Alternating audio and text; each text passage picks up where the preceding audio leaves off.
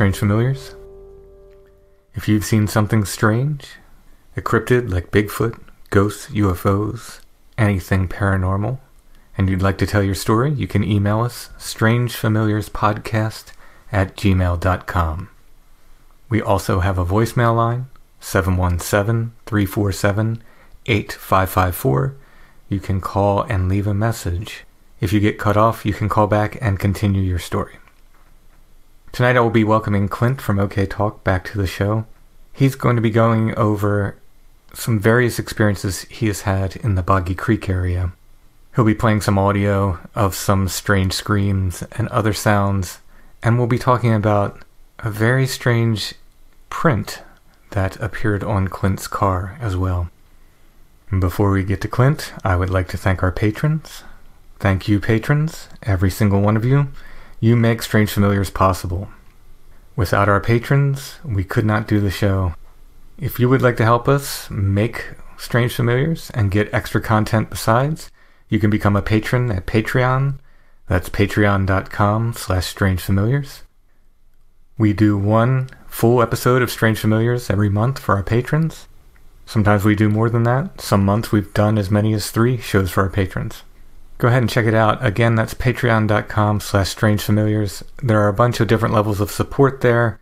Starting at $3 a month, you get the bonus content, and other levels include things like copies of my books, copies of my music, t shirts, and more.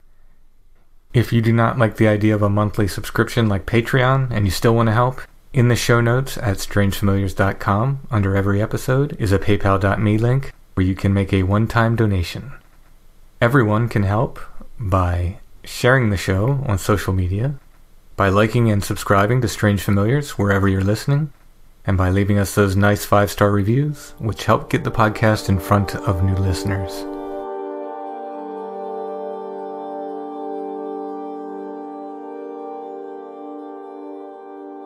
Tonight we're talking to a rare, rare cryptid who seldom makes appearances but we're always happy when he does.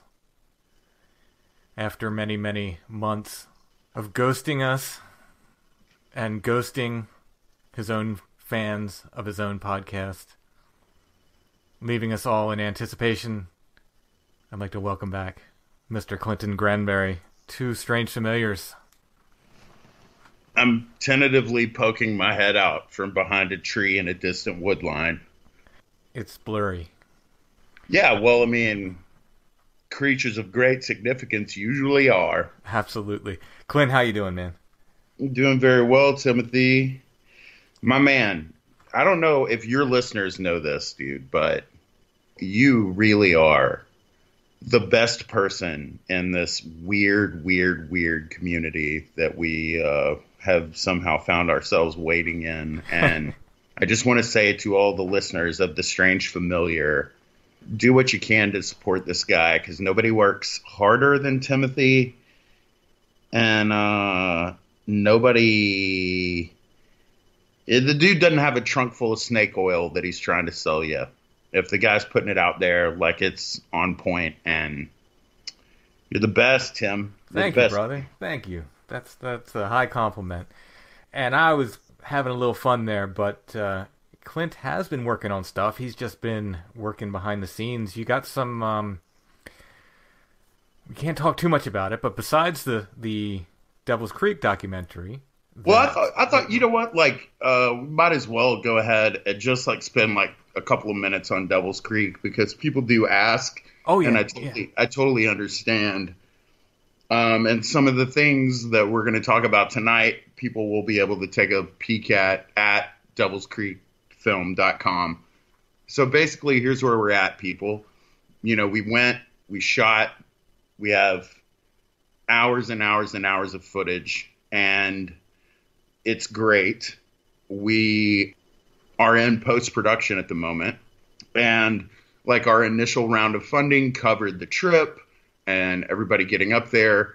The post production's been a little bit more tedious as it's kind of uh, coming as we as we can make it happen. And I honestly don't like I want it to be the best that it can possibly be. So we're not slapping it together. It's not like me and a high school buddy from down the street on my laptop working on it.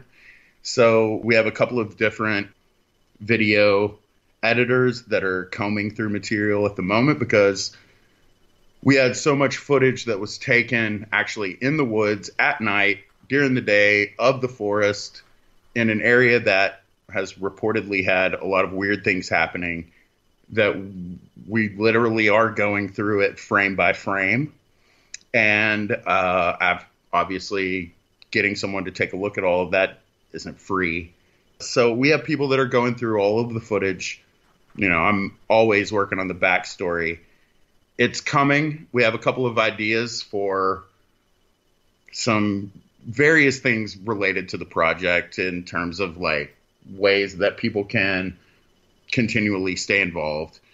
Obviously, like if you're just hearing this for the first time and you're interested in supporting an independent documentary about the most insane, crazy, scariest place that you could ever imagine in human existence, go to devilscreekfilm.com. We it's not it's the other one, not the Kickstarter, but the yeah, and, and if people haven't heard like the the sort of whole Devil's Creek story, I mean, you've gone over it throughout many episodes of OK Talk. We covered it on a dip in Devil's Creek on Strange Familiars. You can find that episode. So the story's out there, and well, and the story, the full story is yet to be told. That's the the really interesting thing. I have a little a little behind the scenes knowledge, and the full story is quite interesting. It's it's quite interesting, and and I'll I'll go ahead and say that maybe you, you can you can comment on this as much as you'd like, but maybe the story you thought you were going to film when you went up there was not the story that you came back with. Like many things in life, when you pull the string and stuff starts to unravel, it reveals things that you never imagined possible.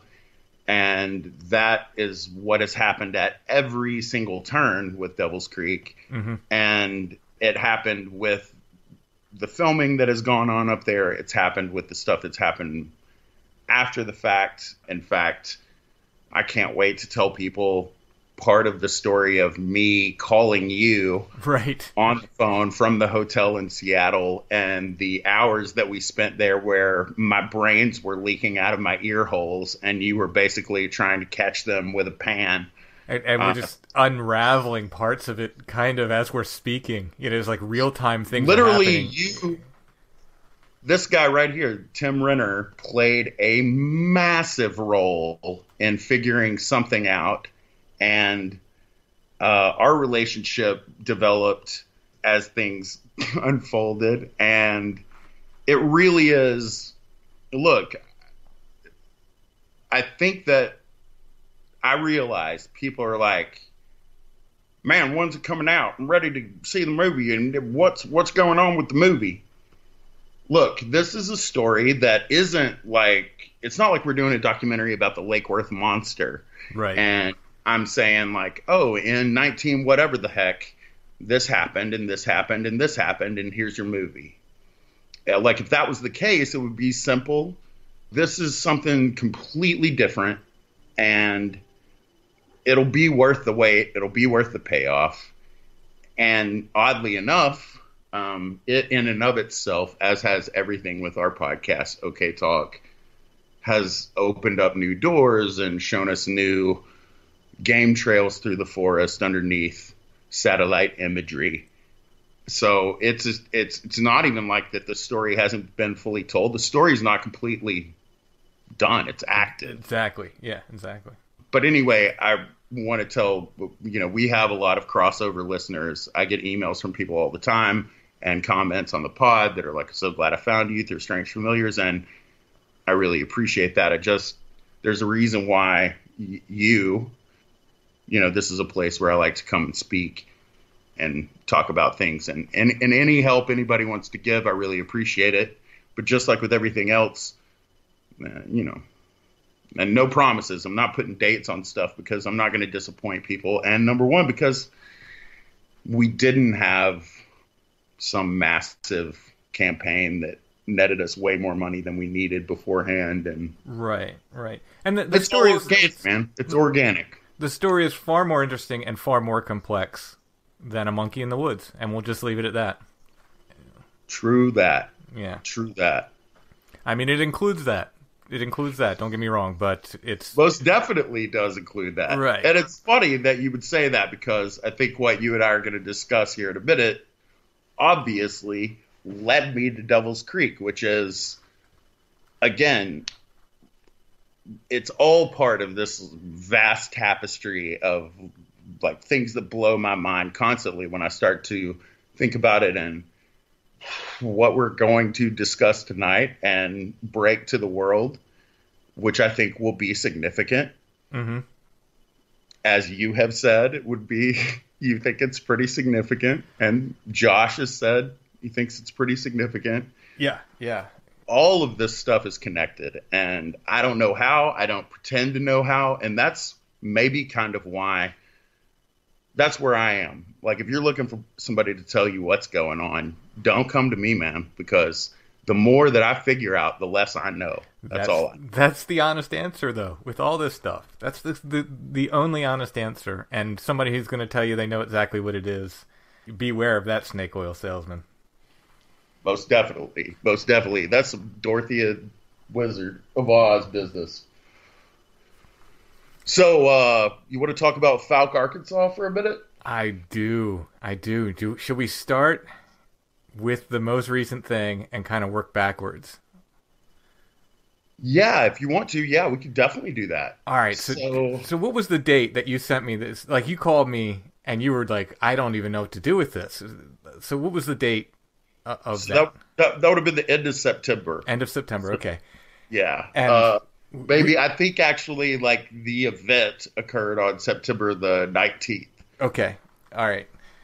So, And you were the first person I contacted because yeah. honestly, to, to be perfectly honest with you, the community at large is. I didn't want anyone else involved with because I knew of the roadblocks and the insanity that would come. I mean, dude, I have a podcast where we talk about weird stuff, and I didn't even want to break this on my podcast. Like that's how. That's how like I don't even want people to know. so I get a phone call from Clinton. He's like, "I'm going to send you something," and he's and you're pretty bewildered at this point. You're like, "I, I don't even know what to do with this. I'm going to send you something. I just saw this. I was in Fouke overnight, and like this happened."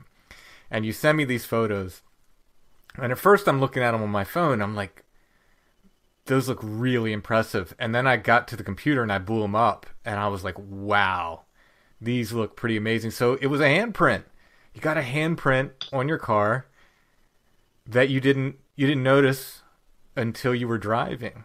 Yeah, yeah. So, so I was actually uh, doing a little cross country trip, working on a few different things, and it just so happened that I timed it out where it was kind of uh, I was going to be close to Texas early evening, but rather than make the extra like five hour drive or whatever home, I thought about swinging by and seeing my buddies down at the Boggy Creek Beehive which is in Fouke, Arkansas, which is the place, the actual location where the first thing that ever occurred to me that got me into this whole thing started. And the guy who, not to confuse people, you can refer to me as Clinton, and uh, Clint Harris owns the Boggy Creek Beehive. So I called Clint up and I said I was swinging by. Just wanted to see my friends. They're great people, and that's a great place.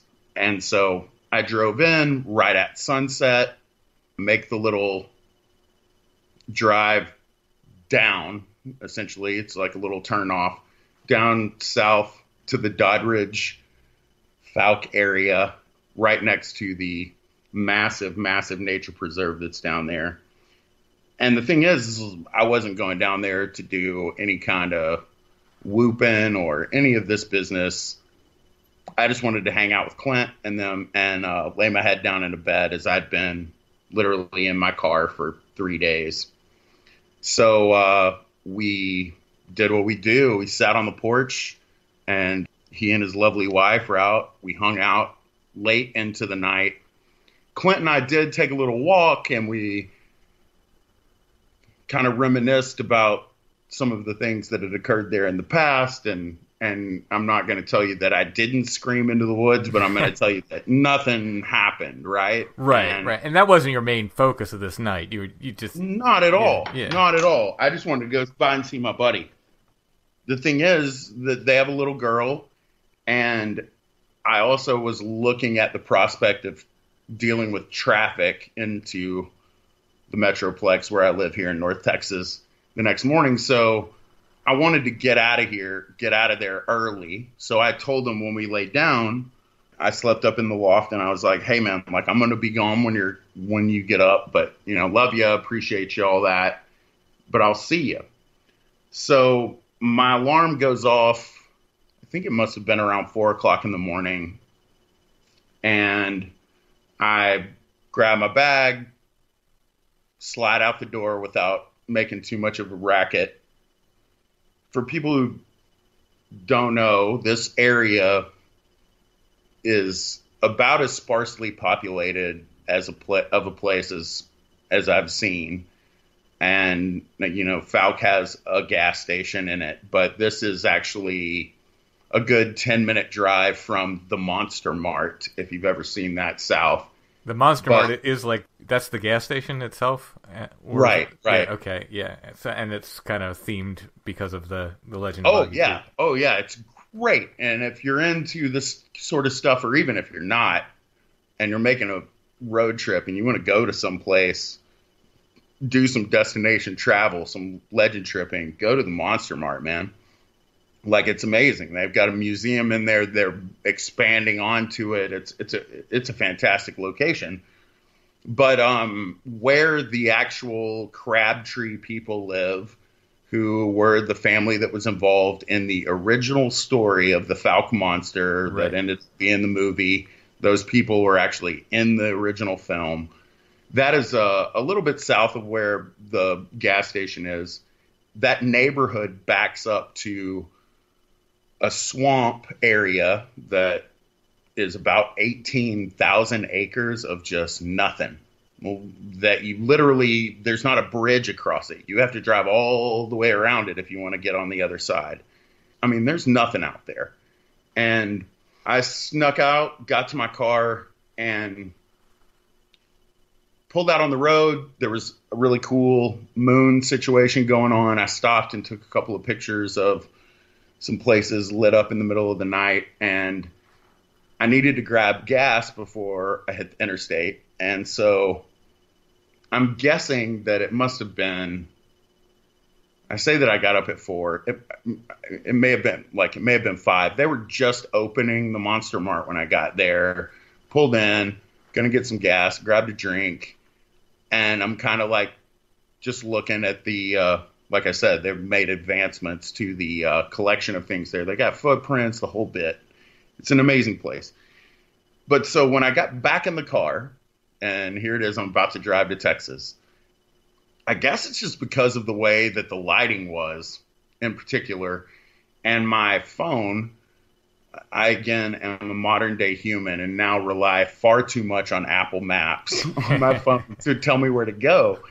And this place is so far out in the middle of nowhere that it, you know, it's spotty at best. I mean, shoot, I can be in downtown Dallas and it not know what street I'm on it certainly has a difficult time knowing which direction I'm pointed in Fouke, Arkansas. So I'm I'm trying to figure my way out to get back up to the interstate, and like I don't have my glasses on, and the sun hasn't come up yet, but it's close, and I pull up to a stoplight, the stoplight there, right, and like I look, right, like I'm trying to bend my head down to look up at the street sign and read it and figure out which street I'm on.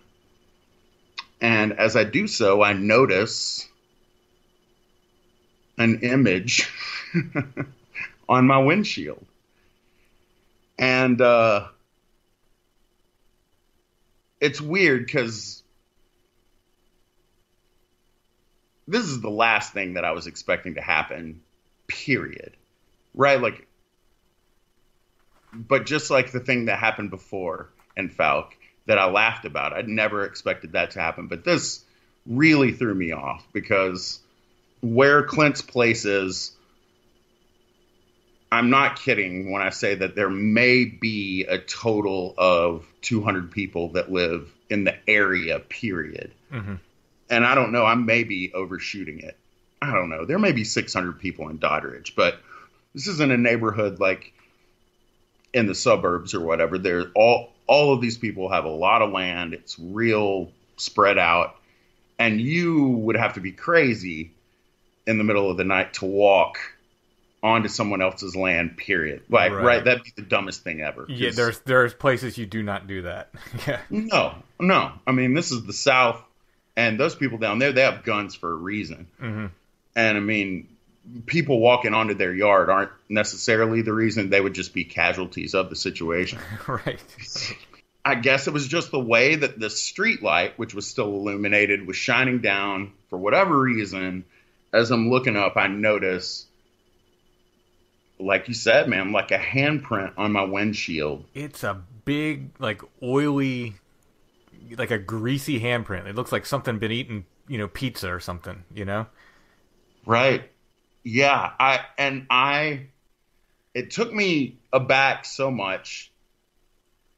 And people who know me and whatever, right, like I'm used to being in places that are weird and have experiences that are strange. This threw me off so much that I like yanked my car into uh the nearest parking lot that I could find, which was like in front of a bank, the bank there. And I get out of my car and I'm looking down and look, it's a handprint and the lighting is weird. It was tough to like figure out how to see it. And then it became eminently more difficult to figure out how to photograph it. Yeah. Yeah. I, I actually at one point took I took a piece of uh I got a piece of poster board in my car and I'm holding the poster board out with my left arm with my body hanging in my car pointing it up with the flash on hoping that that somehow would you could see the shadow of it. But I did get an angle where I was able to get some really good pictures.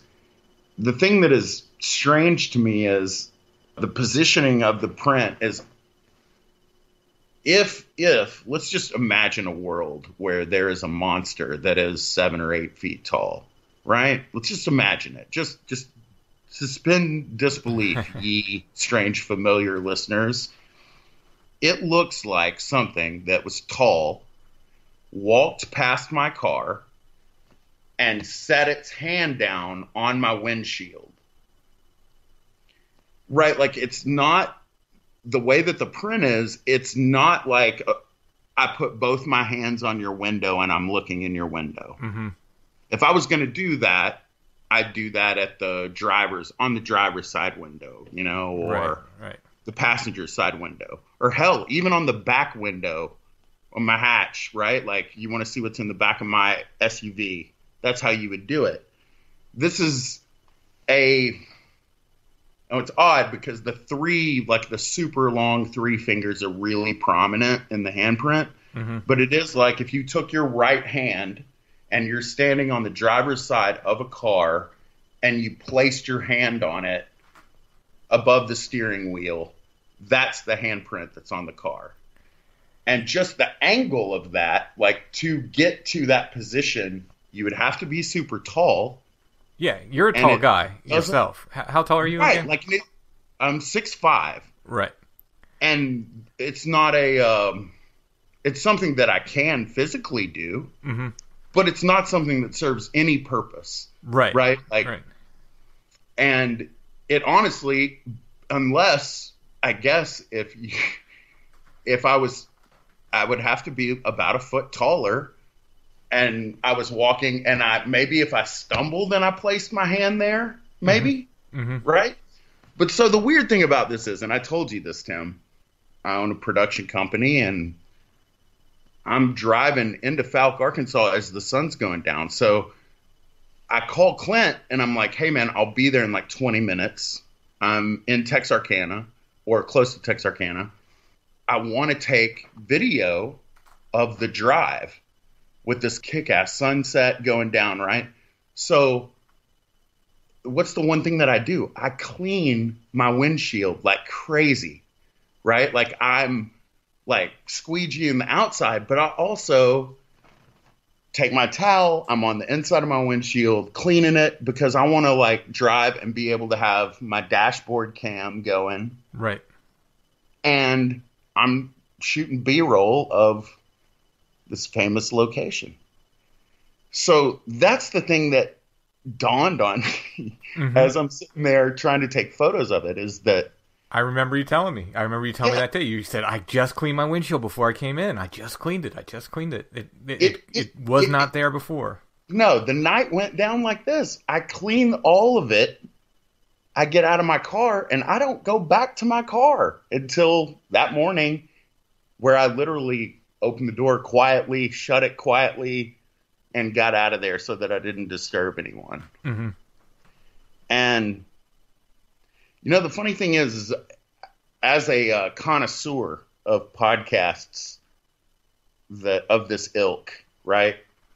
I remember maybe there was like maybe it was a Bigfoot show episode or there was definitely a pod from back in the day about this car that you know one of the uh, dermal the gosh I can't remember these people's names anymore now you know but Mhm. like uh, the guy who was the dermal ridge expert right Right, like the right. FBI guy or whatever that there was somehow there was a car that had like a print on it I seem to remember that.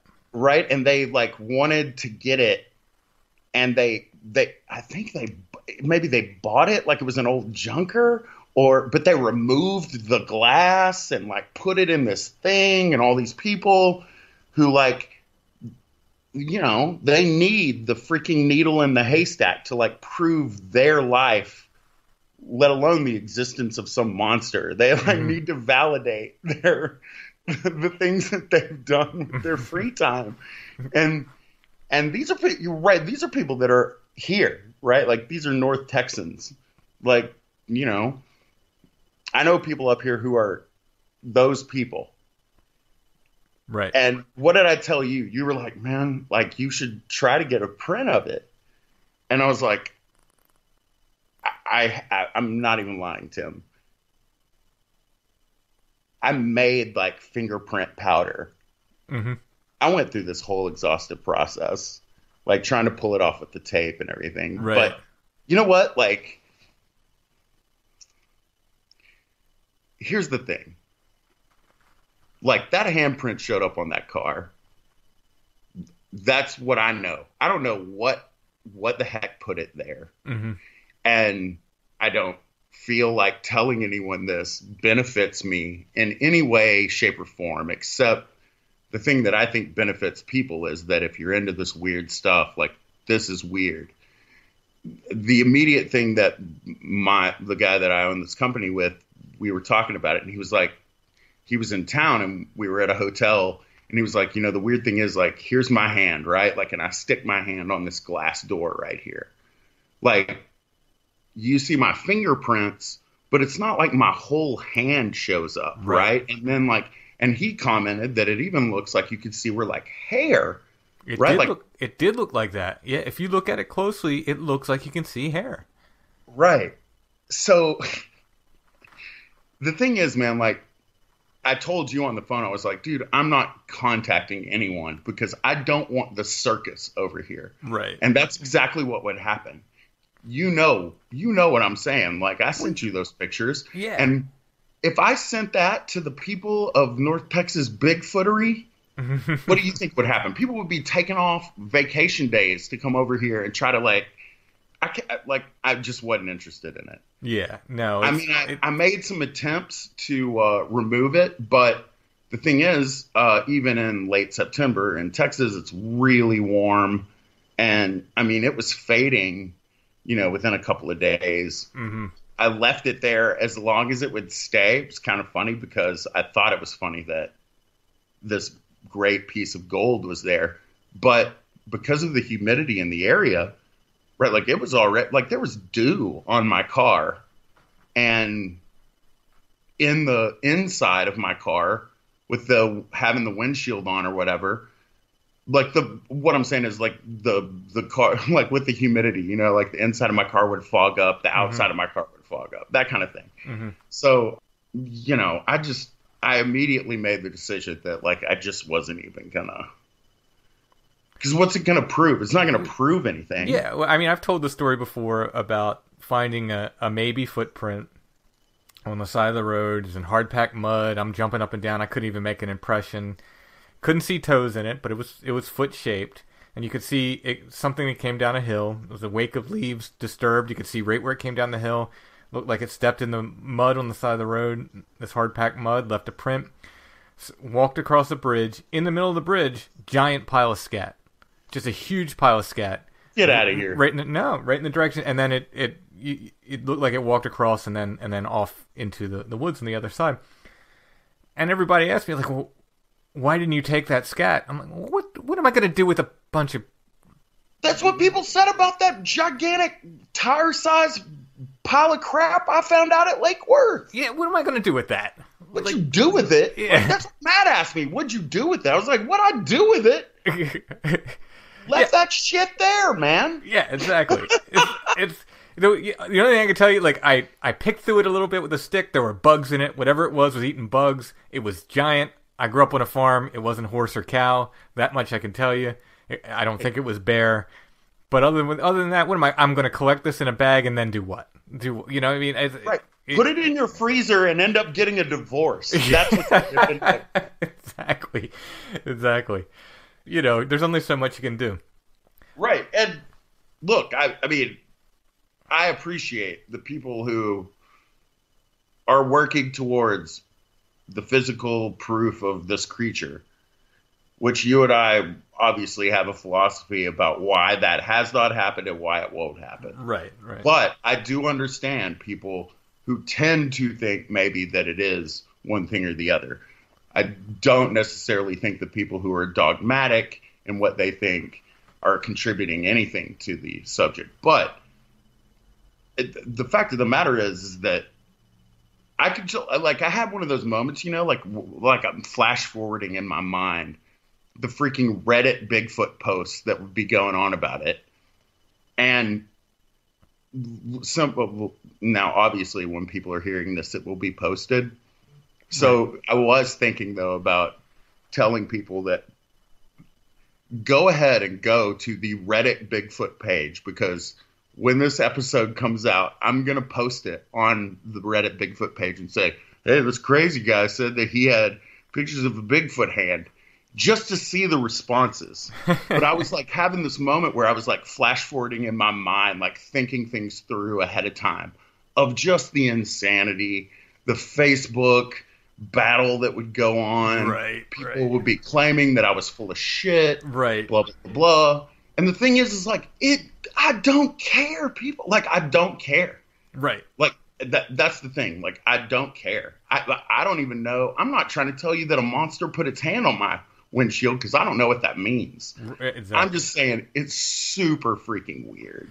Well, let, before we hear the rest of your sort of Boggy Creek saga, which is which is interesting, and we got some sound clips and everything coming up, let's talk a, a little bit about the weirdness of this print. And I'm going to throw some stuff at you and just see what you think. Number one, you know there are three fingered prints collected and three toed prints collected associated with this thing. And I got really excited because that's a big part of where the footprints are in the book I'm writing with Josh. And that's why I asked your permission. I was like, can I send this to Josh? I'm not saying that's what it was, but I'm just saying it's a really weird looking handprint. And you can see three distinct fingers, three long fingers. Like, so Right. I'm, I mean, I'm wondering, you know, a lot of the Boggy Creek tracks were three toed tracks, which, uh, you know, certain, uh, shall we say, big names in the community have said that every time you, you find a three toed track, it's mer people. Which is really freaking bizarre. Like, Dude, I'm sorry. I'm sorry. What? What? A mer? Like, is that like a mermaid or a merman? Mer, are well, those yeah, I guess I mean, they, that's his name for like lizard people. So, so when you find a three toe track, it's a it's a oh, lizard, it's a lizard Oh. I man. didn't. I didn't know that lizard people were mer people. I guess they are. I don't, you know, that's what he calls. Are they them. related to the sirens of yore? you know, this is beyond my depth because No, I think no. Stop it. That it's beyond your depth. I think you're swimming at the precise depth. All right, true.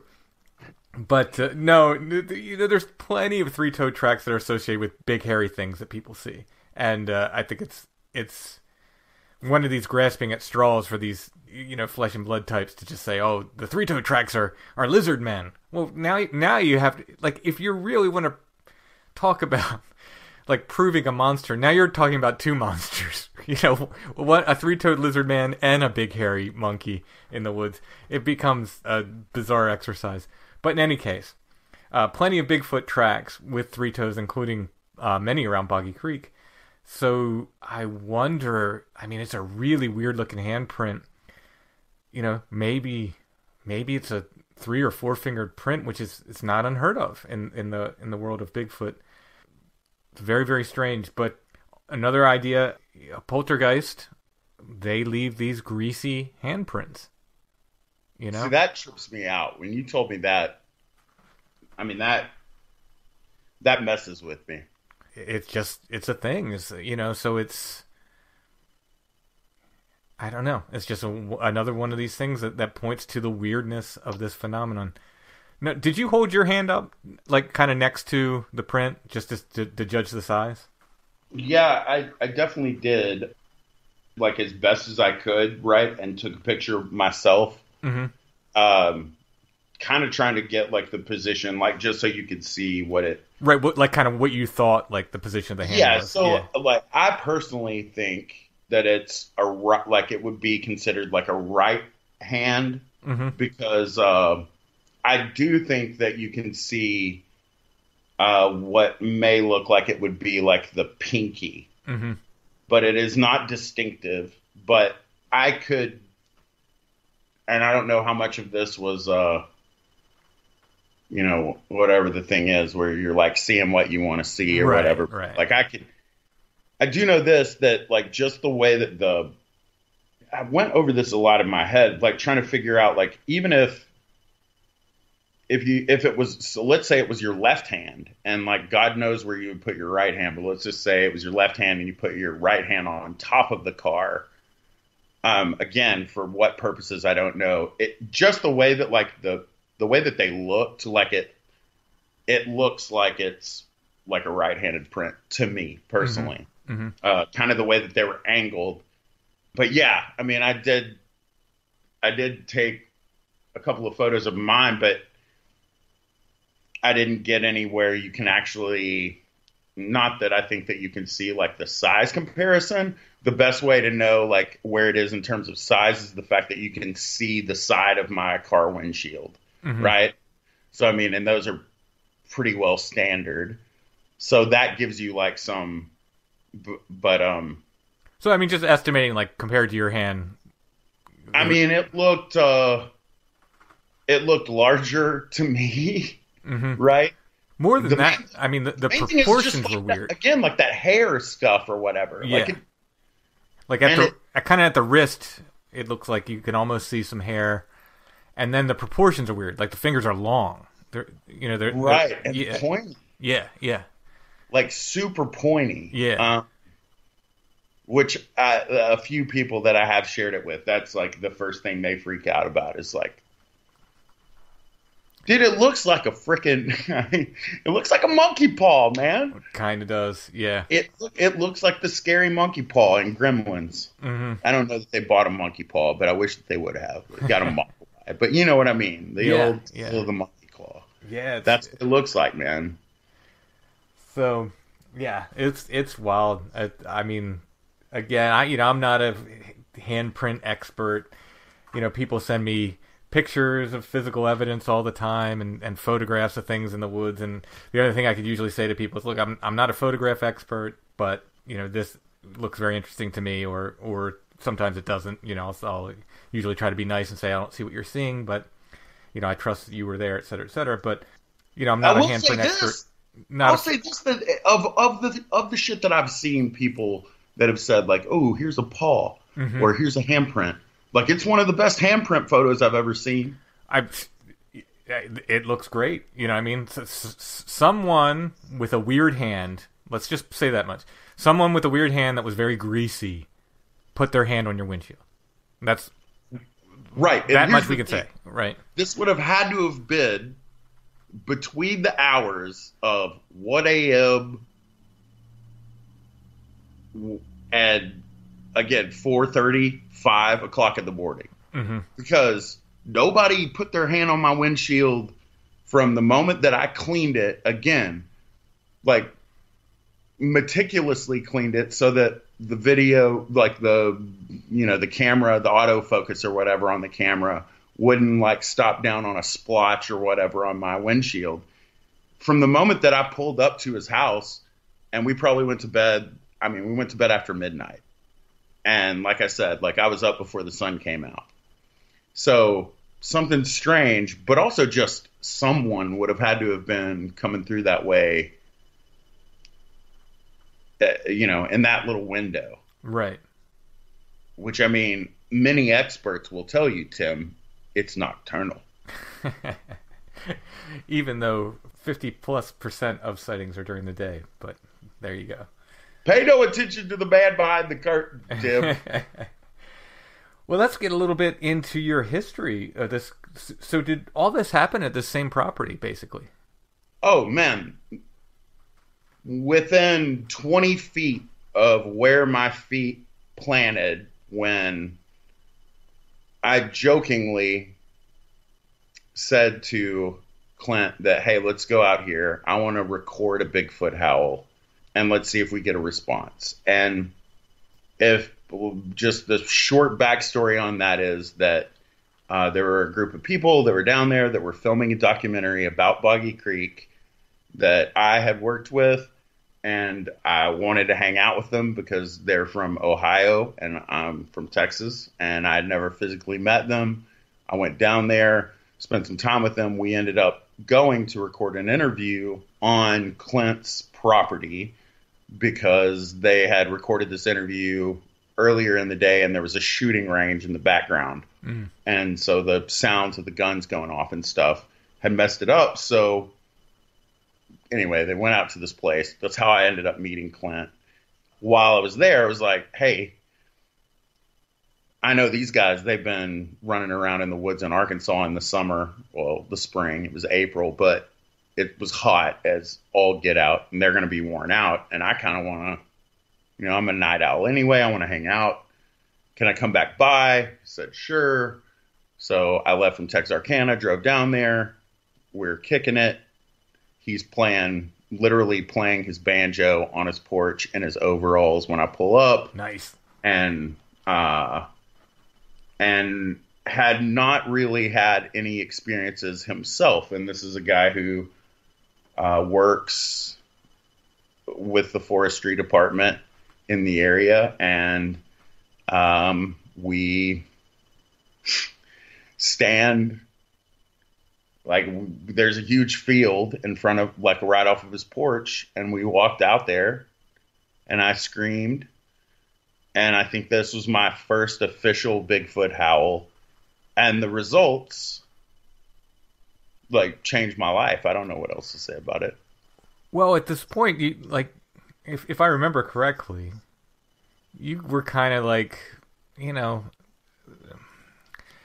not that you thought it was all a joke, but you were kind of like not fully convinced that there was.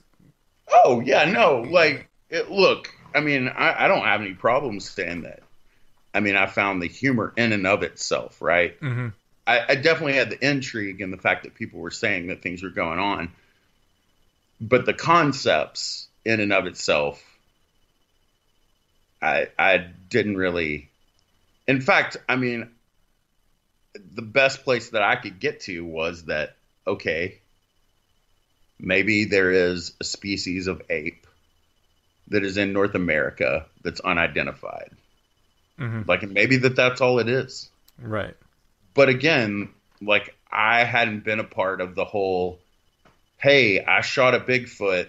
Here I've got it in a trailer in Las Vegas. Come and look at its body. Like I Mhm. wasn't around for any of that. hmm I'll tell you this right now that if I would have seen the pictures of whatever his name was that put that Bigfoot, is that here's my Bigfoot, I would have been like, you people are fucking bananas. Like, you're crazy. Like, that's not real. And if you're trying to argue with me that you think it's real, like, there's something wrong with you. Yeah. Like, that was my attitude about that. hmm But I didn't, you know, I wasn't around for any of that, right? Like, I've I, I've been aware of this presence that swung its arms and looked over its shoulder and in the woods long ago. The concept of it, but wasn't anything that I was. I was the last person that was quote unquote in the community. hmm In hmm fact, I found my entertainment from the way that people acted in the community. Sure. Yeah. Yeah. Oh, there's As a lot. There's a lot of entertainment there. There's a lot of entertainment value there. No question about it. So yeah, no. In fact, are you gonna play that clip here, or are we Yeah. doing that? yeah. Let me go ahead and play that. So you had just let out a howl your of your Yeah. own. So at the beginning of this clip, you can hear me. I say to Clint, "Let me give out a Bigfoot howl. Let me see if I get a response." You can hear that I'm giggling in my voice, and this is actually that this clip that you're about to play is like that's the raw audio. All right. So that's not boosted or anything. And the one thing that I will say is that when the howl begins, and uh, like I like I heard it, and I turned my body. I'm holding my iPhone up in the air as this is occurring. I actually thought it was one long howl, and then now, of course, we know it was two. Like it's one and then a response back at it. So it was like me, one, and then another. All right. Let's go ahead and play that. Let me give a Bigfoot howl and let's see if we get a response. Is that cool? Yeah. Ready? Ready?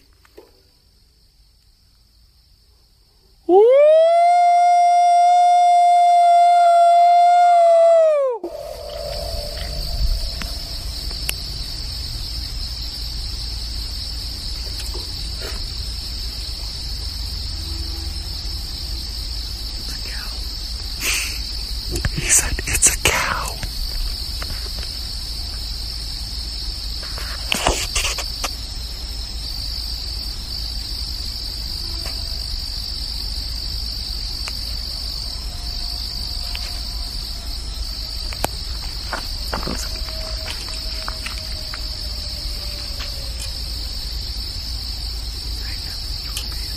Did that just really fucking happen?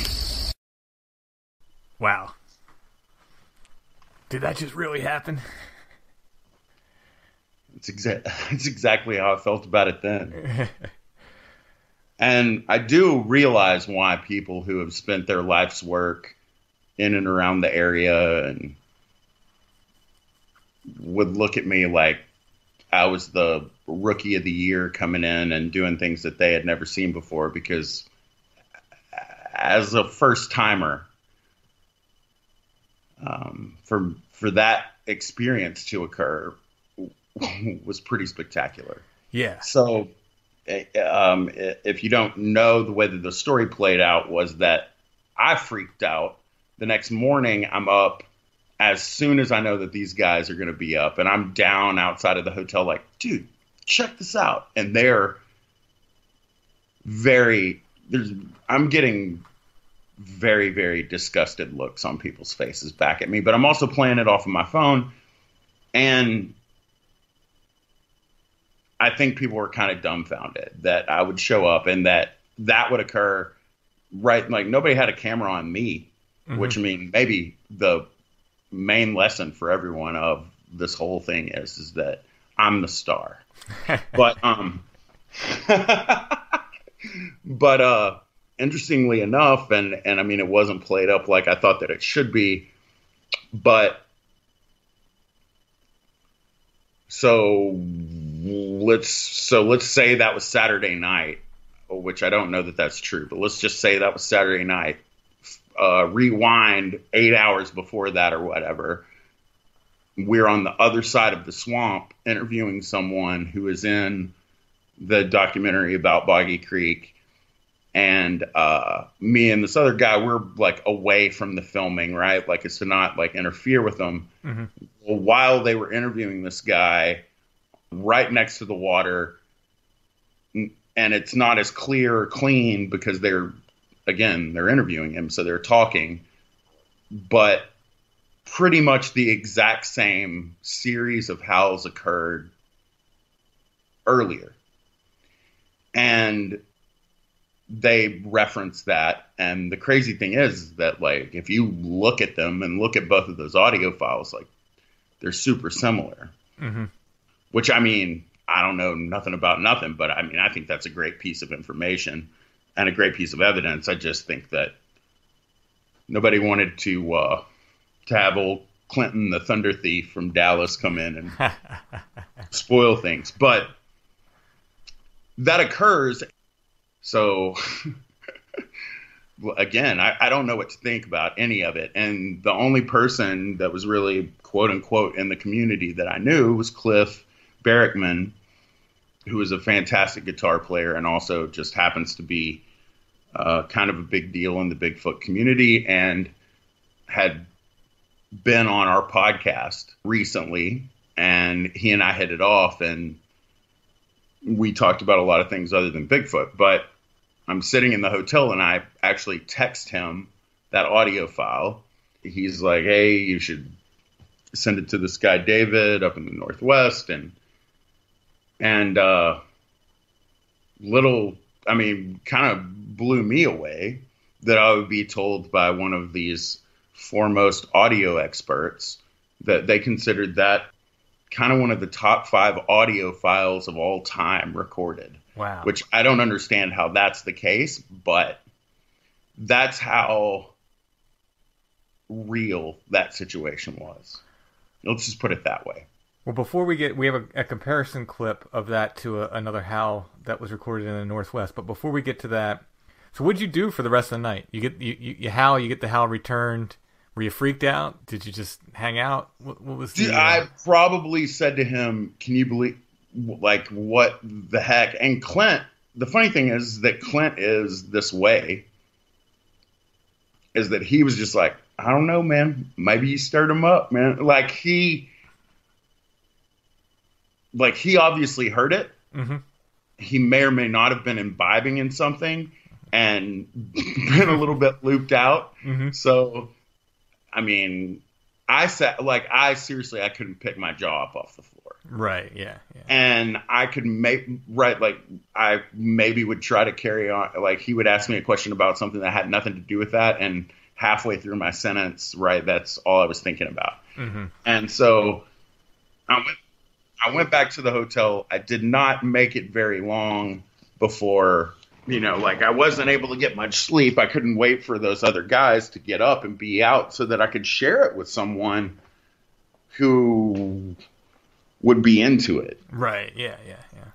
No, and I mean when I say that it changed my life, I mean that it changed my life and that I don't think that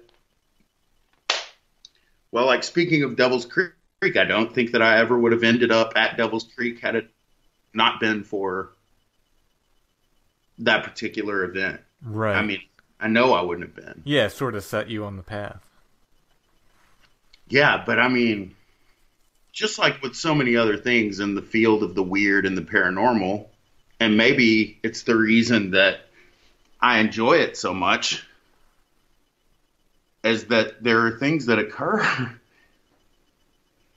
that that that defy explanation. Sure. And I've had, as have you, several things happen to me that have defied explanation. This Mhm. would would happen to be one of them. Yeah. Yeah. That, And, uh, that does not seem to be a coyote for uh, at all. So let's play this second clip, which is the comparison of the two. Right.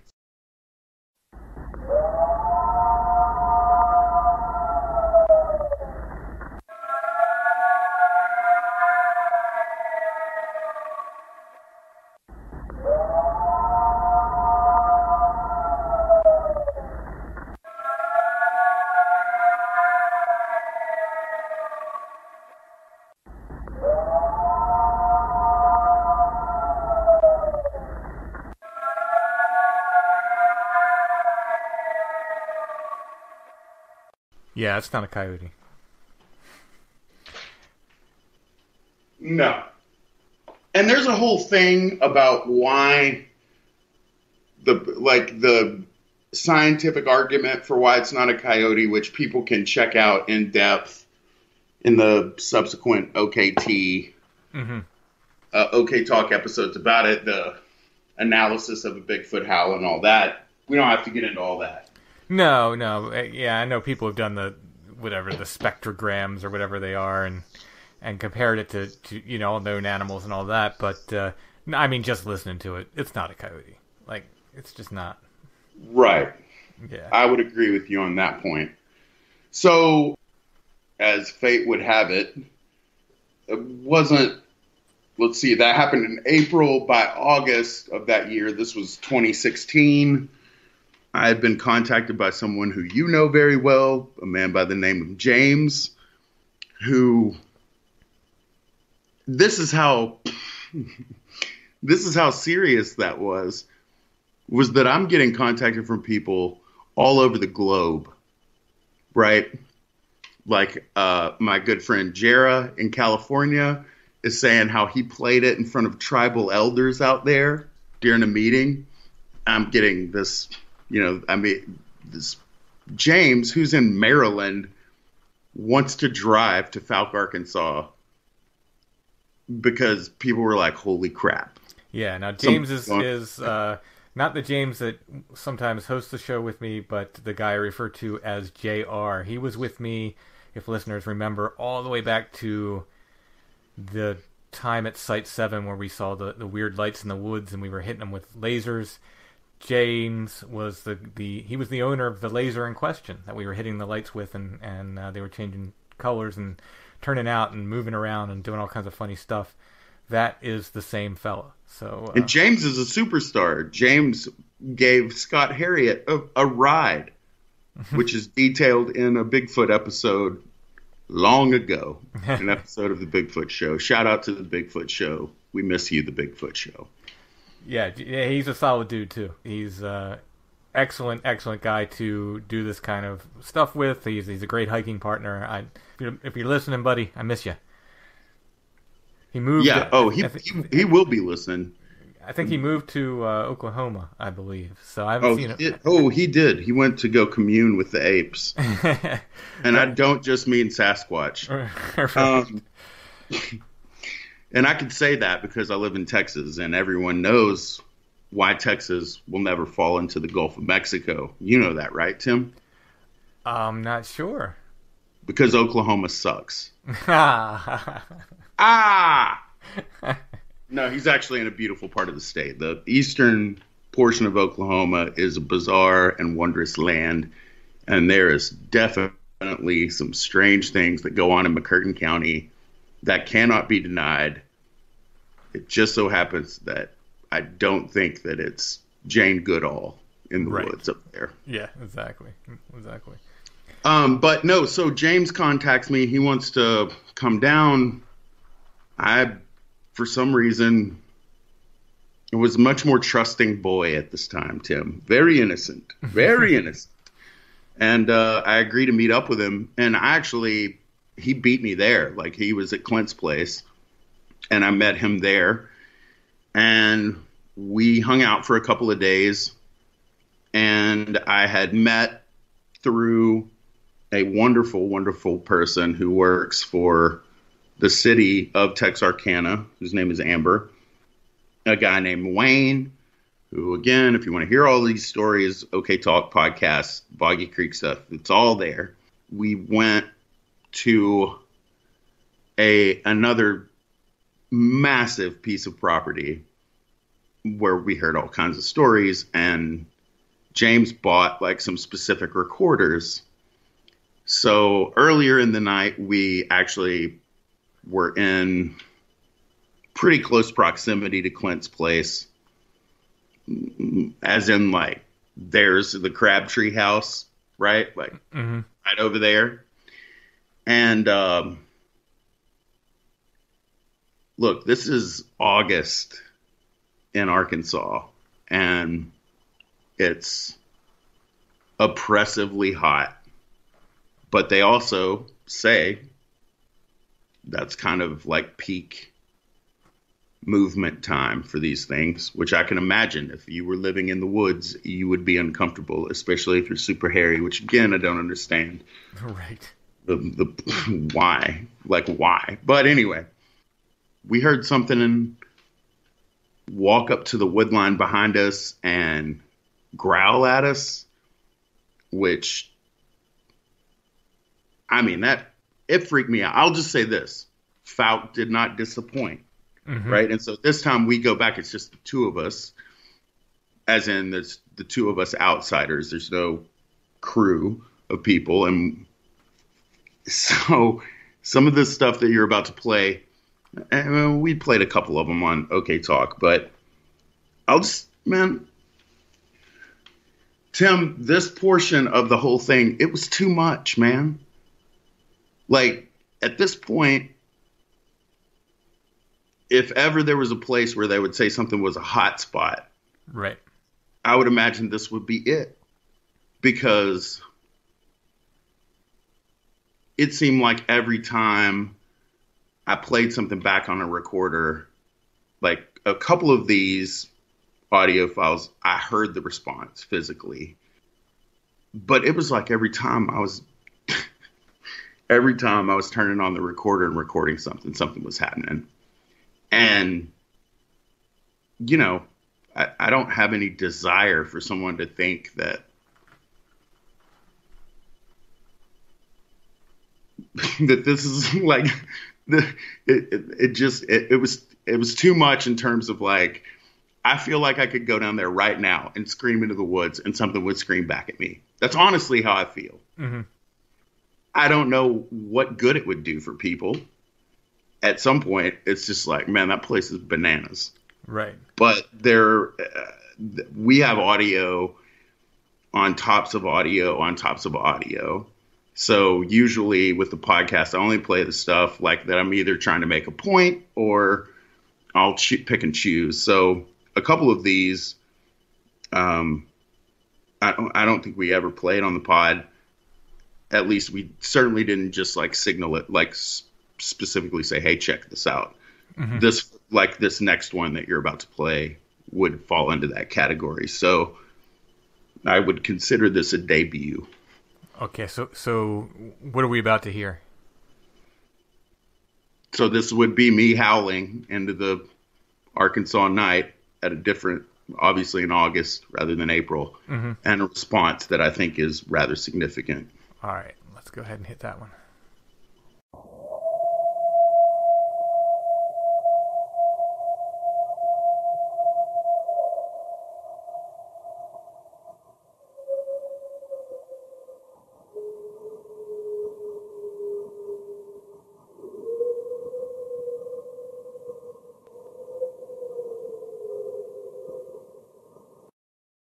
What are your thoughts on that? Whew.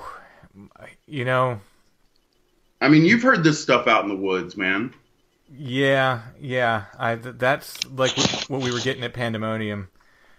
Pandemonium 2019 featuring Tim Renner. Yeah, we've yet to go back. Uh, we're going to go back here soon and see what we can get uh, and, and do a little more hiking through there. It's, it's uh, fraught with rattlesnakes, so we didn't want to do too much uh, climbing through through the rocks and stuff. But What's the deal with you Yankees, man? Like, I, I heard people in Canada complaining about rattlesnakes too, man. I'm just like, hello. yeah, we you got those calm desert rattlers down there. We got we got these timber rattlers. They're quicker and meaner.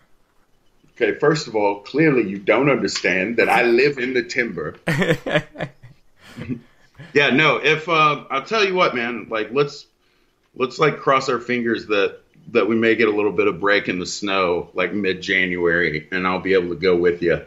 Yeah, pandemonium was intense, but no, that's the kind of that's the that's makes me think of what I heard. So I was woken up. I told you this. I was woken up by wood knocks, three thirty in the morning. Got them on tape, and then we just had the recorder running, and then we we started getting these howls like that, and it was, yeah, I- even uh, Chad who was with me, He, you can hear him on the tape. He says, "Is that a siren?" I'm like, "No, it's not a siren. We're six miles from nowhere. It's not a siren." You Or know? was it a siren though? A siren of the wood. Well, there you go. And you asked me what I think about this. I'm going to go ahead and play play that one again because that kind of gave me chills.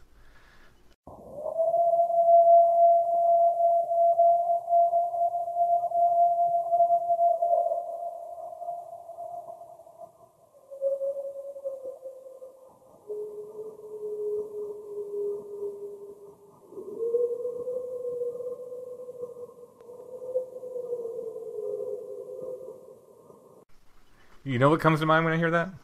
Banshee. Hmm. Banshee. That's what comes to mind. Not a monkey. that. Not a monkey. A banshee. Yeah, it- it's, like. it's just chilling, chilling, chilling sound.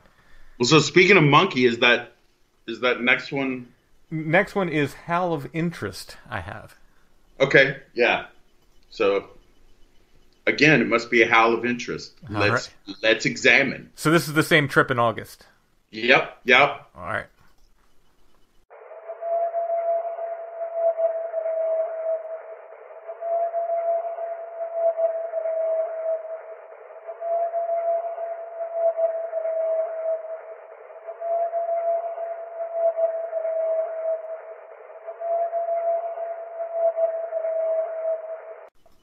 Right, yeah. So that's the same shorter one looped five times. hmm Which again, the weird thing about this stuff is that at no point, right? Like, so if I'm in East Texas, let's say at a graveyard, let's say called Werewolf Road, Right. and I howl, and coyotes get going, like they keep going, right? They're, you know, the whole thing.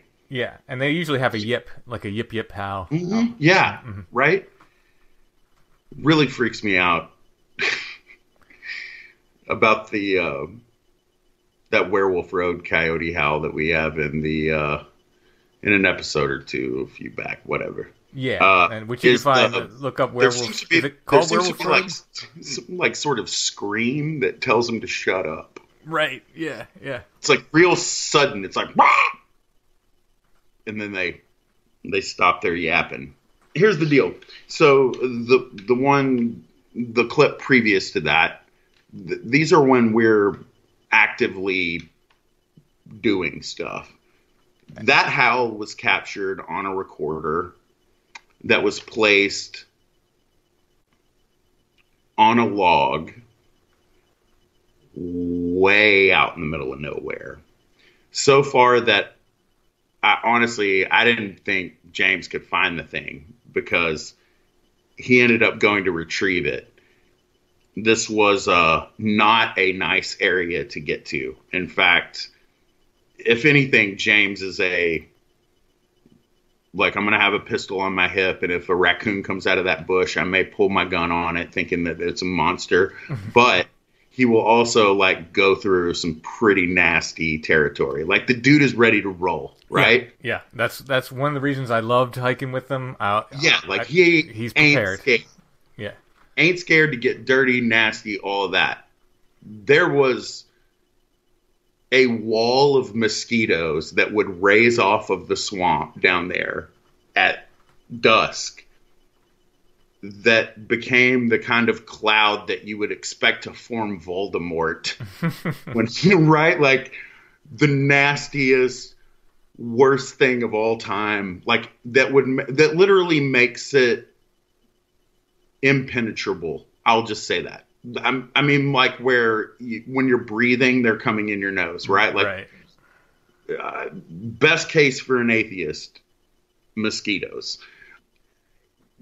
And james like went into this area put this put this recorder on this log took a picture of it prior and then took a picture of it after the fact. And that's important only because the last clip we're going to play but this next so that howl was just randomly captured in the middle of the night right Mhm. so then this next clip too randomly captured in the middle of the night. And this one is interesting because it's like something does that again with the howling thing. And then there's like chatter. Well, let's go ahead and play it.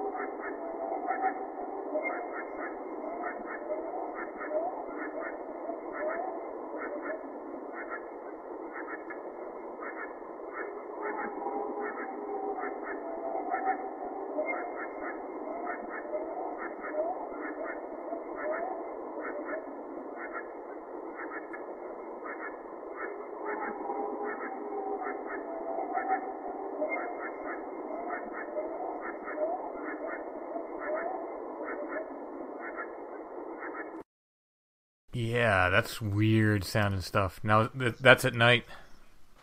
Yeah, so that would have been overnight, mm-hmm. right? Like we're not around there or anything. Again, that's just stuff that we picked up going back and reviewing the audio. Mm-hmm.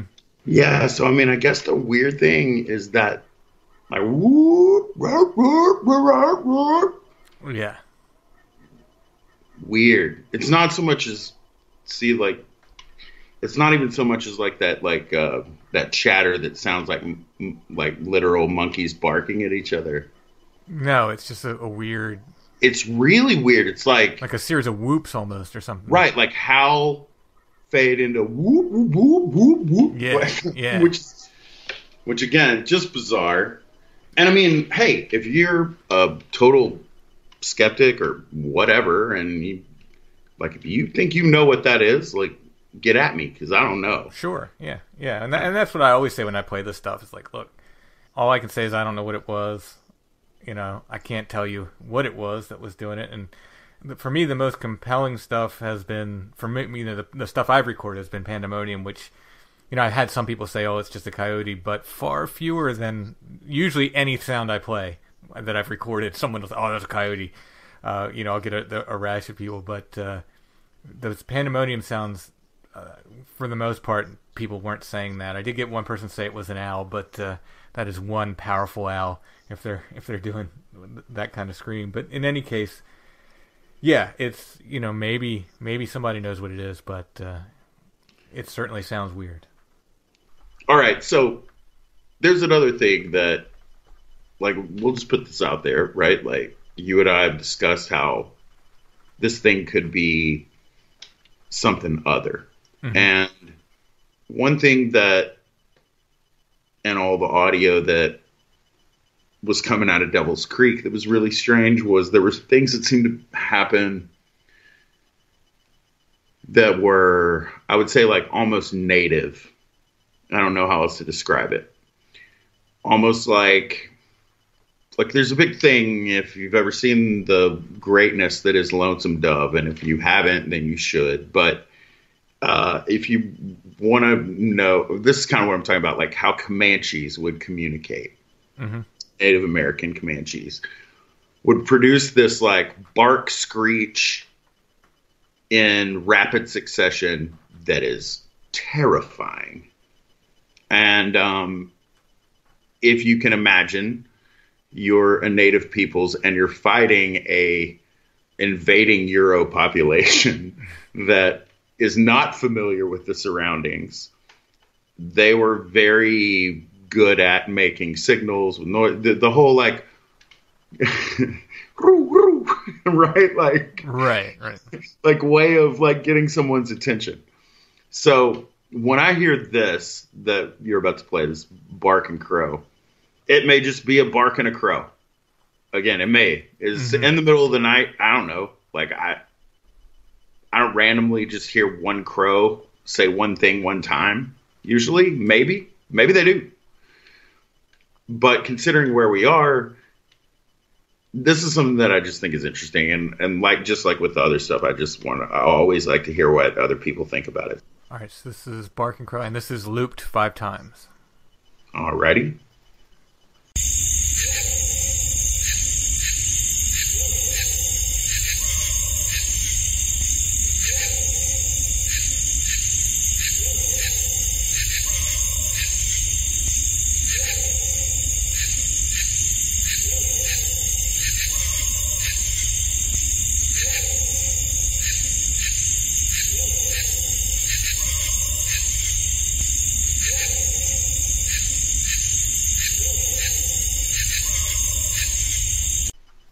It's just really weird in the middle of nothing. Yeah, yeah, Which. I say the middle of nothing, but again, you can obviously hear the sounds of the southern forest mm-hmm. and the swamp. But it's just weird. And again, that recorder wasn't placed. It's not like that's a neighborhood, right? Like just ran, you know, like Right. there's just some random dog out there, and maybe even that was a random. I, I don't know, Right. but if you're in the woods or you're in the middle of nowhere, there's there's a reason why certain things occur. if that second, if that you know, right, it's like Bart Bart crow, right? If that is a crow, like what in the hell is a crow doing awake in the middle of the night and making that noise Mhm. once? Right. Because that's the thing, right? It's like that pops up in the middle of a lengthy recording file. So there's reason for that, and that is what we are about to play next, which this, I think, this will is going to be controversial just because of what I'm going to say, but I'm going to propose this to you as what what I think is going on here. Or I'll tell you what. Let me just tell you, this recorder, a Zoom recorder, it looks like a, it's like a cylinder, right? Mhm.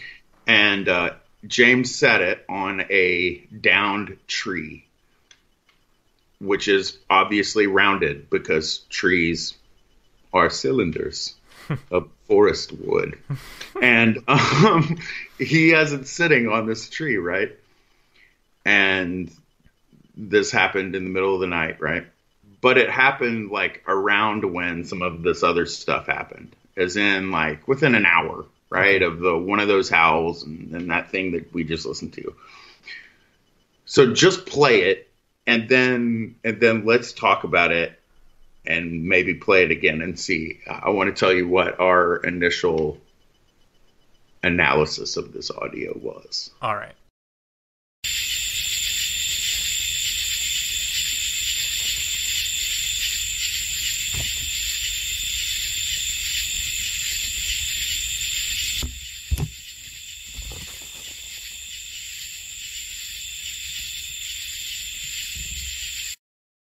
Okay, so I'm going to go ahead and play that clip one more time. Okay.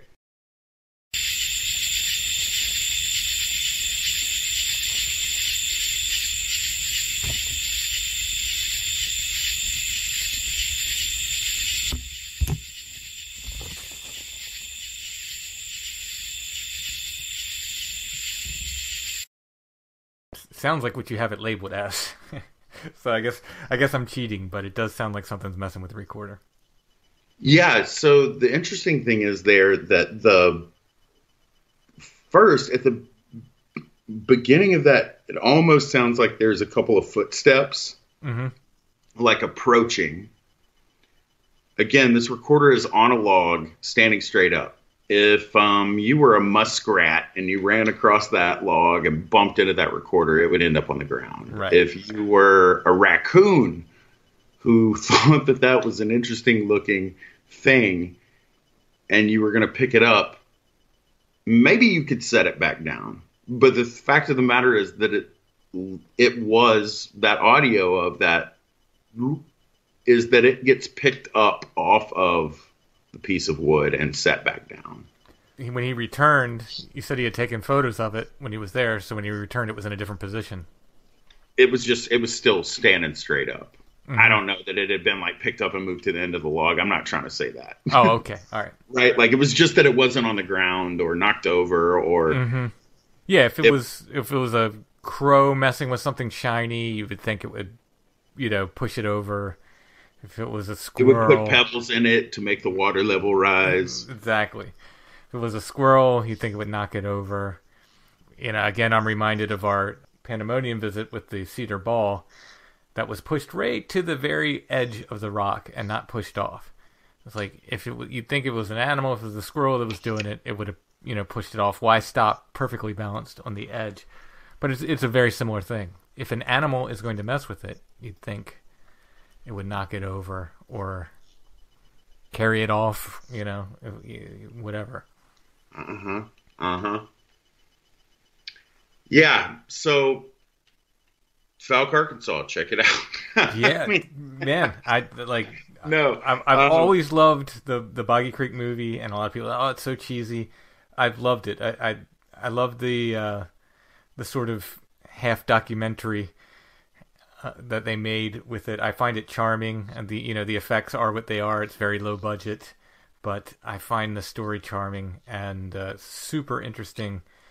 And Right. I- And again, like the people that played that this happened to, them, they're in it, right? yeah, yeah, exactly. Uh, so there's something really, and we may have told this story.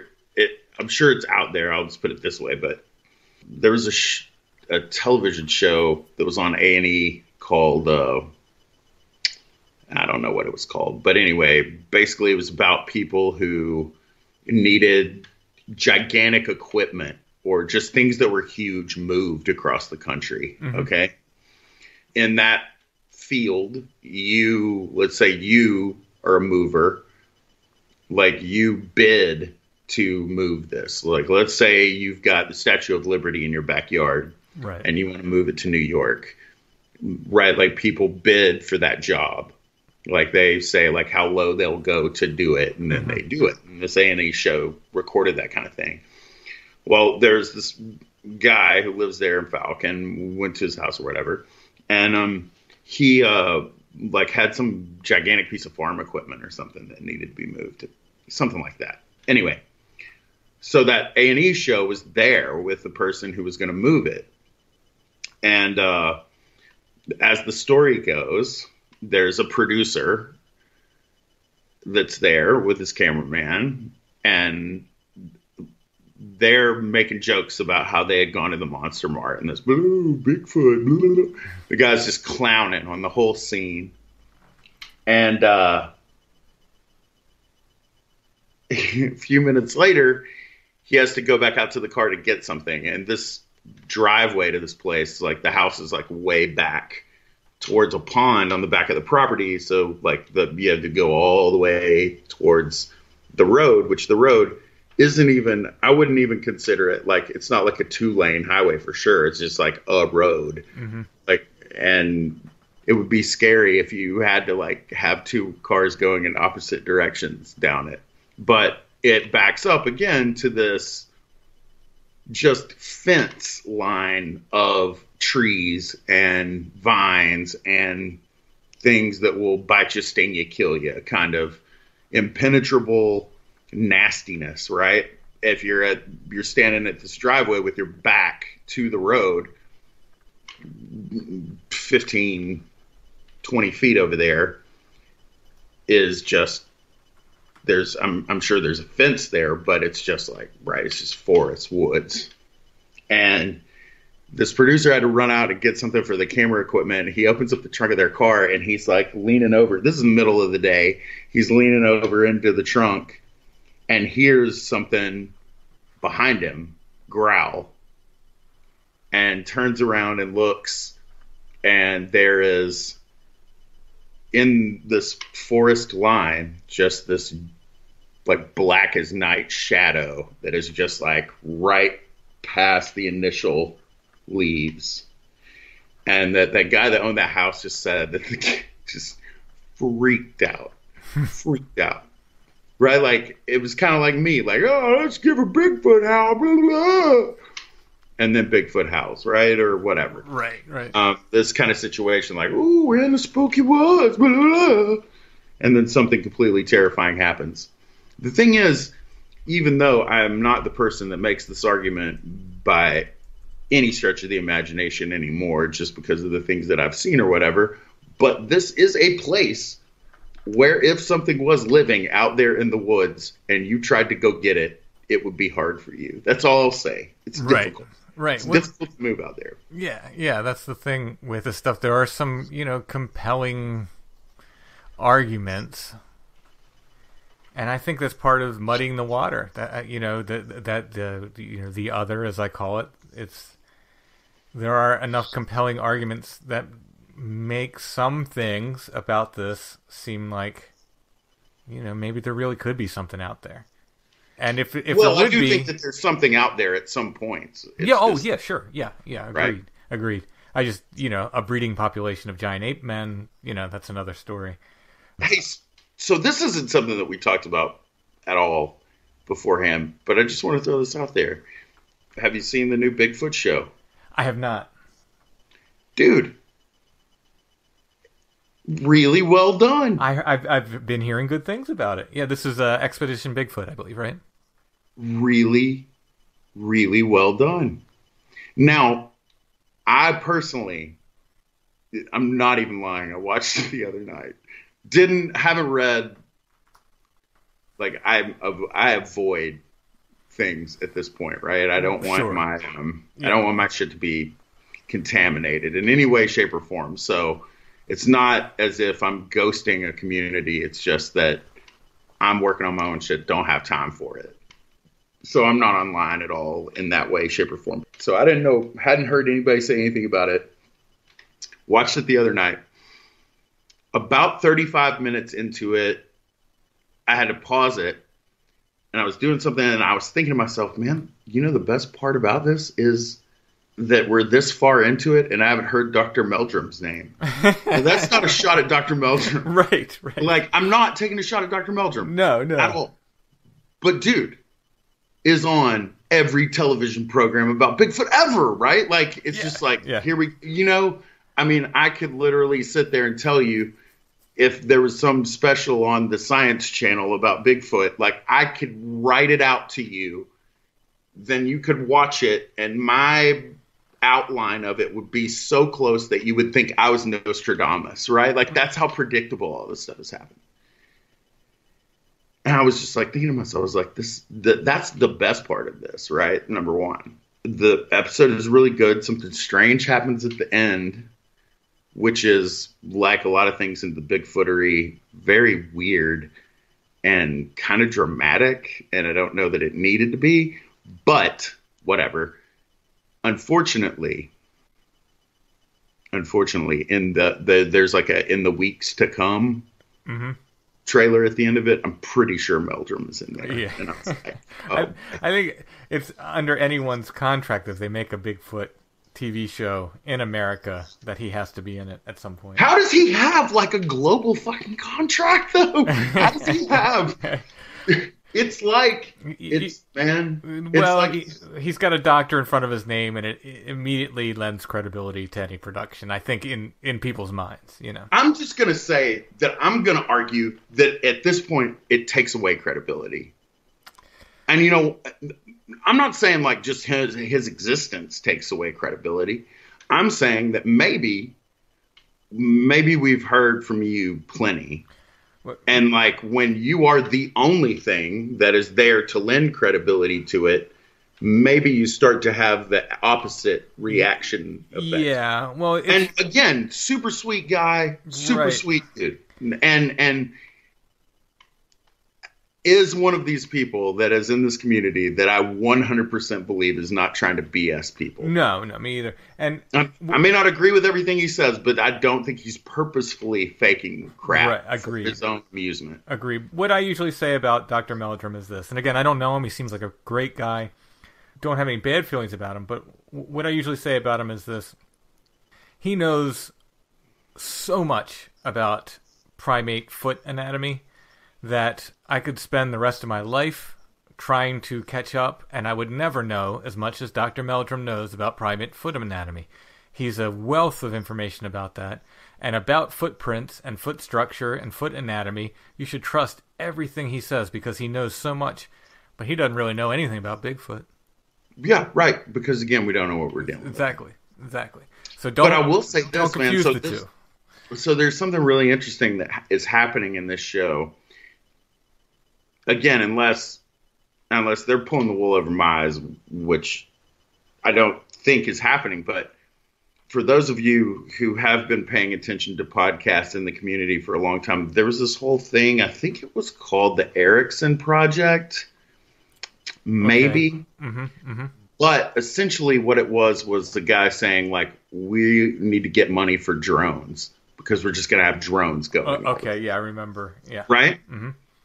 And the argument then at that time was, well, that's great, but all you're going to see is the top of the tree canopy, right? hmm They show some, like, scary NSA footage here of ground mapping that is occurring from this pissed off drone that dude like it looks like you take the top off the lid and it's like you can see the individual areas but like you're getting right like you're getting topography maps like super precise too it's Wow. crazy Wow. and through that they they identify what looks to be game trails or whatever, which mm-hmm. you can imagine. Okay, like if I told you fly that drone over this forest area, you wouldn't expect to be able to like look down and be like, oh yeah, there's the game trail.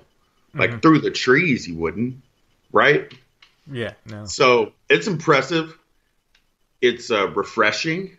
Again, nobody take any offense to any of this. It's just it's nice to have different people commenting. And I will say this: the woman that is on here, that I I don't know why it is that that scientist has to be a female in a Bigfoot show. Like when you're putting it together, right? Like Yeah, yeah, all these parts. right. But um, like I knew who she was immediately.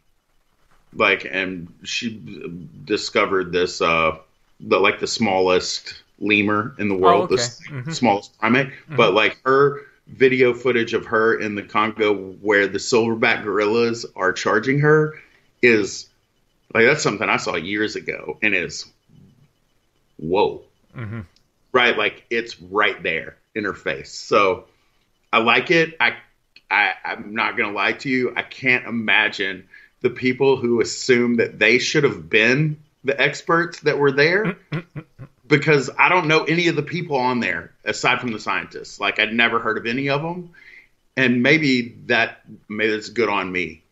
But like there's a dude that says he has a podcast never heard of it people who say they're experts never heard of them and i'm not saying right like i'm the encyclopedia of this community. All i'm saying is i do know people in the community who have to be looking at it being like oh that guy's a pother right. Yeah, I've I've heard some of that grumbling actually. Should have been me. Not, and I'm not saying that. It should not be me, but uh, no it I- should have been me and you but you in a gandalf hat.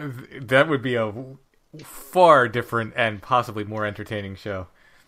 oh there's no question to be more entertaining Did I ever tell you about the the reality show I pitched, the Sasquatch reality show I pitched? i didn't hear about the one you pitched i, I- heard about I- I the other pitched this- stuff There, there's a local film company that does reality shows, and I pitched this to them, and they wanted nothing to do with this, and in fact closed down all contact with me after after the is pitch. this recent No, this is a couple years back. Okay and uh, the title of the show was Shroomin' with Sasquatch. shut up And my premise was to have a different substance every week and have a, a group of people go out in the woods and get out of their mind on a different on substance. psychedelics looking for bigfoot yeah, yeah, and just basically be in the woods, and they wanted nothing. They were like, "No, we you we cannot do that. We cannot show that." I'm like, "Well, you don't have to show it. You can kind of work around it." And they're like, "No, we want nothing to do with this." So dude i mean it, you may have been too early because like think about it now right like the psychedelic movement man we're curing depression and stuff Oh, yeah. microdosing is like a big deal with people who are making stuff happen Well, look, Um, if, if there's any production companies out there and they want to fund Shroomin' with Sasquatch, I'm just gonna say I'm I'm open to it. well um if you're out there and you would like to see Shroomin' with Sasquatch, I'm a production company, so holla at me and we'll do it. There you Because go. I would be down for that. This does remind me to tell everyone that if you have not seen it, have you ever seen High Kia? No. Um, YouTube, Kia. All I know, I, I think they have a whole thing going, but there's an episode where a guy and girl take acid and try to put together a bookcase. It's fantastic. Spectacular. Okay. Awesome. Hey, back to Boggy Creek. I'm gonna plug something here. Shut up. I have made a Boggy Creek poster. It is uh, offset printed. It's uh, quite nice, I What? believe. And it's my artwork, so it's sort of an alternate movie poster for Boggy Creek. And I will put a link in the description. I'll make sure I have it up on my Etsy store and some other places. And I'll put a link in the show notes. So if anybody wants my Boggy Creek poster, signed and numbered, edition of 100 only. I'll, I'll How make did you do that? Like, did you? Uh, how did you get the reprint of it? The re- reprint. I did. I drew my own. It's, it's my art. So, so I You, just, I know you drew it. Then Yeah. how did you make a hundred of them? Did you draw it Oh. a hundred times? no, no, no, no. I, I, I uh, there's a local printing company that I work with. Very, very excellent uh, printing company. Uh, Wise Printing, I'll give them a shout out. Uh, lo- yeah, local to me in Pennsylvania, and uh, they they offset printed the posters for me. we definitely yeah shout out to wise shout out timmy's a fantastic artist if you don't know and as i know you're not looking at me on skype but i'm looking at some of my own artwork over my shoulder and the discussion has come up recently about using um, some auction stuff with my art for funding some of the stuff that we need to fund. Oh, and this yeah. was something that i wanted to discuss with you just not on the pod. But um, tim's fantastic I would just say that if he puts some art up, don't think that you're such a special person that you can send him an email and say, "Yes, I will take these to put in a museum for me to sell at a museum for my own personal gain." I own Bigfoot. Right, exactly. Um, Clint, you have either just released or will soon just release a new OK Talk, right? Yeah, mm, maybe. Um, we're we're Uh, sort of like it, we're recording this before it's released, but we're not sure if you're going to get that released before I get this released or whatever. But there should be a new OK Talk at some point soonish. Right. And look, look, man, like uh, I know a lot of your listeners have supported the Devil's Creek project, and I super really appreciate that. And again, if anyone wants to get involved with that, they're more than willing. And check out Devil's Creek Film, hit us up, OK Talk Podcast, all of that. You can find us.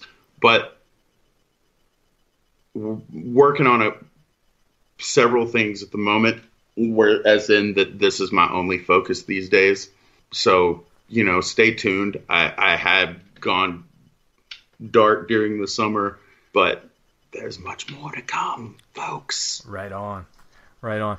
And we will put those uh, handprint photos up at devilscreekfilm.com. Yes.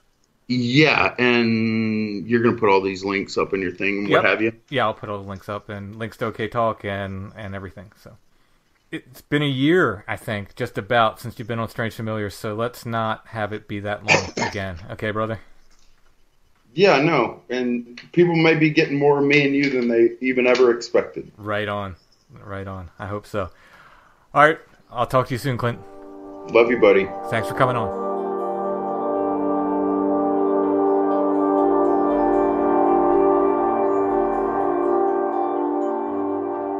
Thanks for listening, everybody. I would like to thank Jason W. for the very, very nice PayPal donation this week. Jason, thank you very much. Some of that music is on the way. And remember, you can always find us at strangefamiliars.com. We will be back soon with another episode of Strange Familiars.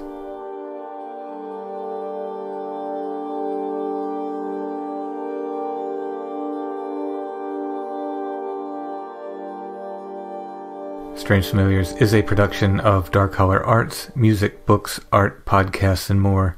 DarkHollerArts.com. Intro and background music is by Stone Breath. Go to stonebreath.bandcamp.com for more.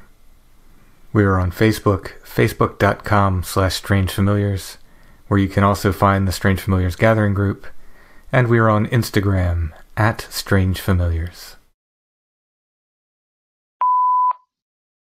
Hi, Tim. My name is Shannon, and I have a story for your podcast. Around 2006, I had gone to bed one night. Uh, my husband at the time was downstairs. I had a, a large dog named Shadow who was lying sort of person style on the bed next to me with his head on a pillow. So I'm rolled over and I feel my dog lift his head off the pillow as if to look at something. So I roll over to see what he's looking at, and there's a man materializing at the edge of, of the bed on Shadow's side.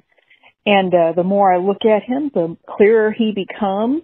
Almost like my eyes are adjusting to see him, the same way your eyes adjust to see something in the dark. That's what it felt like. And once he finished materializing, he stepped around to where my dog was and he pointed a device at me.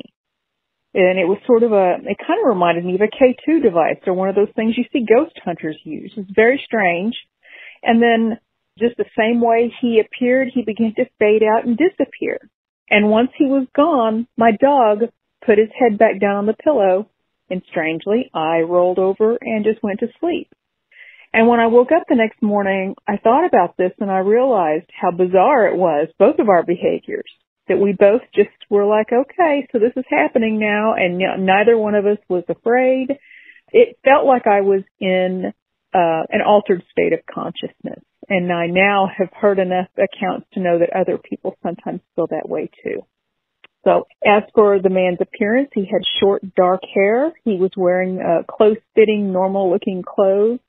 I mean, almost like a Star Trek person, maybe, but not really, you know, just sort of like a close fitting long sleeve shirt, uh, some sort of nondescript lighter colored pants. You know, he was a normal human being. He didn't look like he was from the past or necessarily from the future. And later on, when I started seeing these ghost hunter shows and they were walking around pointing these devices, I thought, was I a ghost in his world? Was he pointing some sort of a ghost detection tool at me. Anyway, just something that I thought of. So that's my story. Thanks.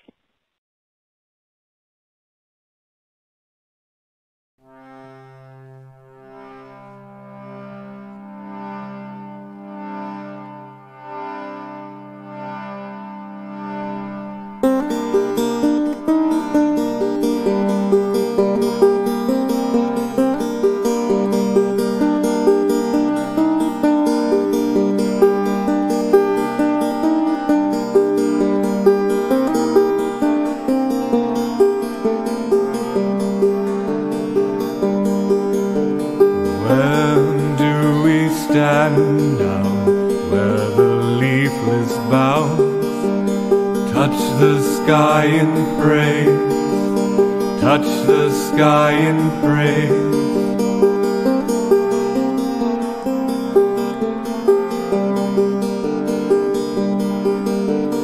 every dead thing turns as corpse candles burn.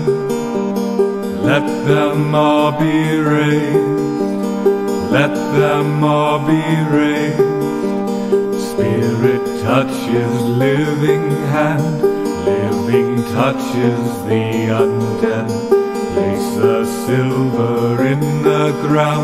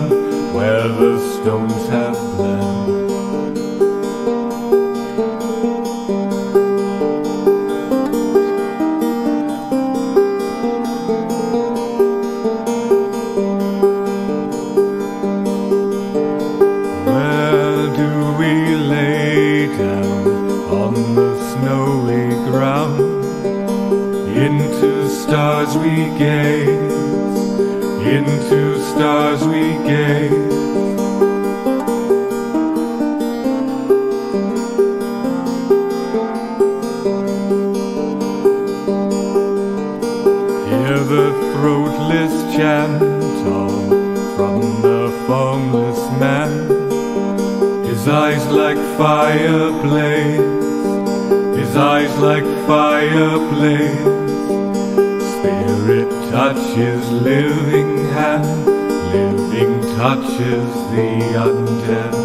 Place the silver in the ground where the stones have bled. Where the stones have bled, where the stones have bled.